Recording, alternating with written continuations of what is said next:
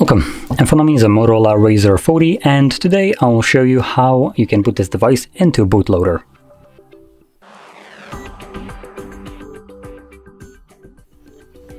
So to get started we're gonna hold our power button and volume down at the same time which will oh, volume up which will bring up our boot options. So power and volume up.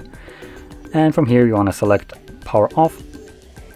When the device turns off hold power button and volume down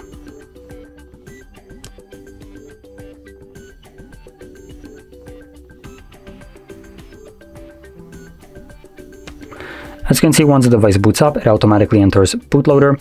And in here, you can navigate through the options that will be displayed right here, one option at a time.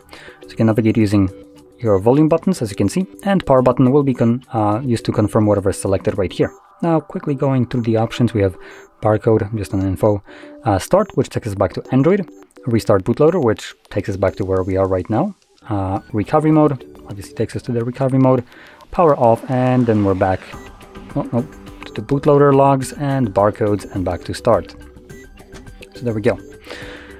Now, and that's basically all we have access to, so I'm gonna stick with the first option, confirm it, and like I mentioned, this will just take me back to Android.